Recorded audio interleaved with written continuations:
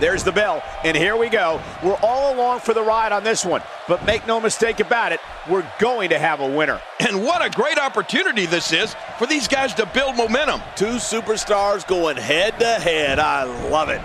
But no matter what we say outside the ring, it doesn't matter as much as what happens inside that ring.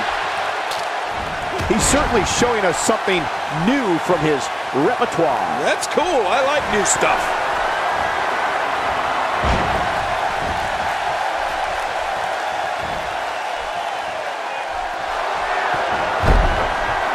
He's really pulling back now, giving the arm all he's got.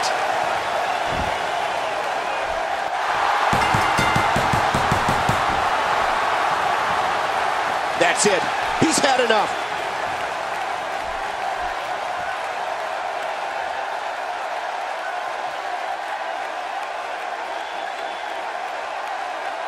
Here's your winner, Trevor Mason.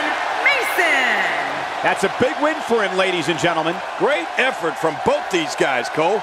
I'm willing to bet this is the last time we see them square off. It'll be interesting to see the fallout following this big singles win here tonight.